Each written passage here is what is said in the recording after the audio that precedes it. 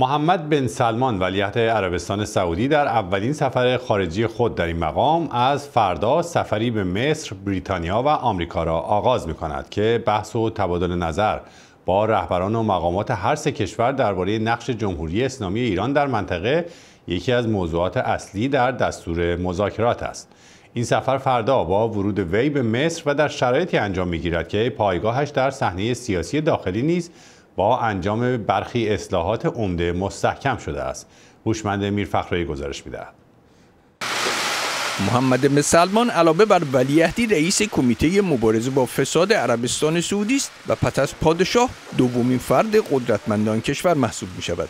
پنج ماه پیش این کمیته در اولین اقدام خود تعدادی از ثروتمندان عربستان سعودی از جمله ولید ابن تلال ابن عبدالعزیز را بازداشت کرد.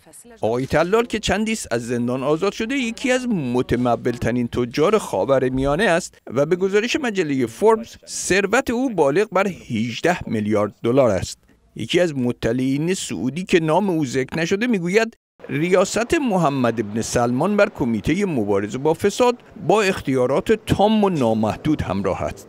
تقوم اللجنه بالمهام التاليه اولین کار کمیته مبارزه با فساد تنظیم دادخواست و تهیه فهرستی از اعمال خلاف افراد دستگیر شده است. این کمیته که با فرمان پادشاه تشکیل شده در مورد بازخواست از تمام افراد بدون توجه به موقعیت اجتماعی آنان بازرسی حسابهای بانکی و معاملات تجاری و در صورت لزوم صدور ممنوع خروجی برای آنان اختیار تام دارد.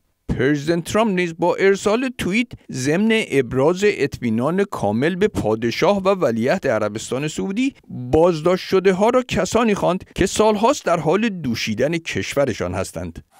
از سوی دیگر ولیعهد عربستان سعودی فرماندهی حملات هوایی ائتلافی از ده کشور سنی مذهب علیه شورشیان حوثی یمن را بر عهده دارد که از حمایت ایران برخوردارند. این شورشیان و حامیان منطقی آن نیز تا به حال دو موشک بالستیک به سوی فرودگاه ریاض پرتاب کردند که توسط پایانه موشکی ضد موشک پاتریوت در آسمان عربستان سعودی رهگیری و نابود شده است.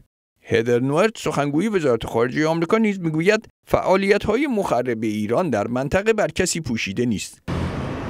مصر پر جمعیت ترین کشور عرب و بزرگترین متحد عربستان سعودی در میانه است. انتخابات ریاست جمهوری مصر نیز که به احتمال زیاد با پیروزی عبدالفتاح السیسی رئیس جمهوری آن کشور همراه است. چند روز پس از بازدید ولیعهد عربستان سعودی از قاهره انجام می شود هوشمند میرفخرایی صدای آمریکا.